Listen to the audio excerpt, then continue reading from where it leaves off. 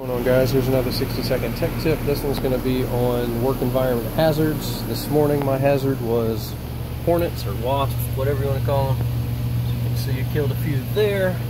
Uh, I had several nests up here. It's been kind of cool in the mornings but not cool enough to kill these guys.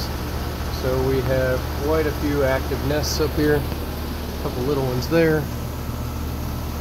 A little one there that had quite a few wasps in it. And then another big one right there so it's a good idea to just kind of give everything a once through before you start working because the last thing you want to do is stir up some hornets that you aren't aware that are there. Uh, makes for a bad day. So, especially in chases like this and disconnects, condensers, and also it's a good idea to have some sort of wasp or hornet spray. This is made by Nu-Calgon. We've been using it now for a couple months.